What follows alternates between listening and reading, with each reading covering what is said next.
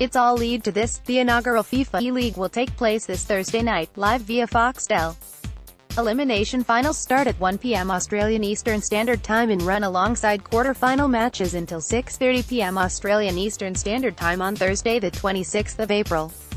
These matches will be broadcast on both Twitch. The grand final should be finished up by 11 p.m. Australian Eastern Standard Time that same day. These matches will be broadcast on Twitch, Fox Digital and Fox Foxtel's Fox Sports 501. Here's what to expect on the day. Elimination Finals Match 1, Brisbane Roar v Wellington Phoenix, PS4.